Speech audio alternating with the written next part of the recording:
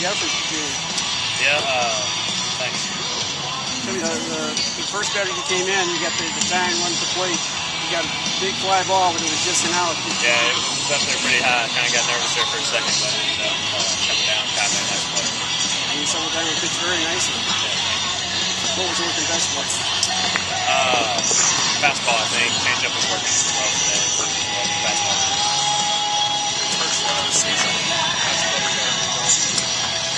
I didn't even know that. Uh, feels great. I didn't even know I got the win. But yeah, feels good.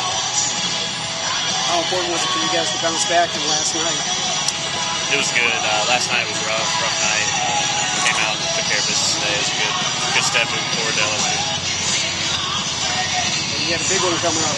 Yeah, big weekend. We're excited. Uh, get down there and get aggressive on Friday night.